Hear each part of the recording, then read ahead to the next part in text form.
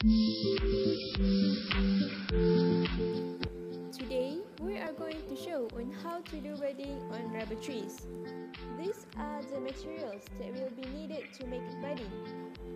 Firstly, a plastic tape and a sharp knife. The rootstock can be budded at the age of 2 months. Budstick. In order to do budding, the budstick and the rootstock must came from the same family and at the same age. Now, we'll be showing a tutorial on budding of a rubber tree. First of all, we need to clean up the part that we wanted to do budding. Then, we cut the part making a rectangle shape using sharp knife. We need to avoid the cambium.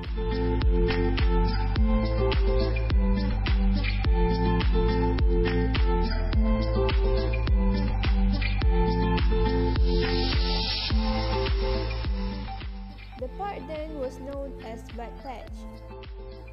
In one bud stick, there's usually three or more buds. We can choose any of it. Now, we need to take the bud from the bud stick.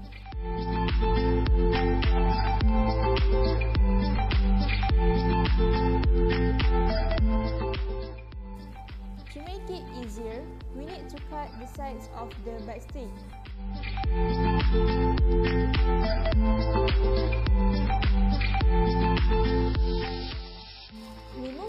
The stem from the scion. Remove it carefully so that the bud won't fall off from the scion.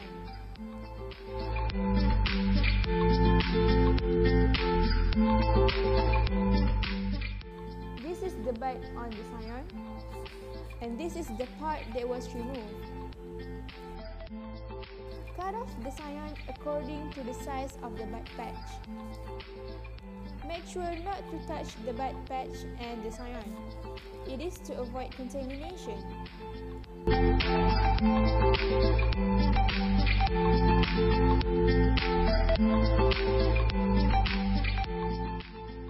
On the bud patch, make a tongue to hold the scion so it won't fall off.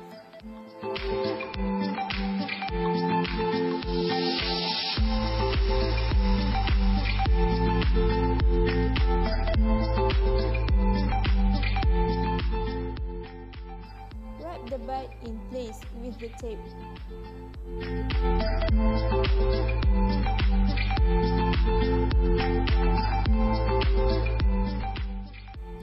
Tie it tightly to avoid the water and dust from inserting. Is the final result, which is a successful budding. Here's the examination for success of budding. 20 days after budding, remove the bandage. Scrub the patch lightly to check whether the scion is still green. Green color indicates a successful graft. Second examination was done 10 days after the first one. It is to see if there's any shoot proliferation. Failed plants can be budded on the opposite side of the rootstock. Thank you.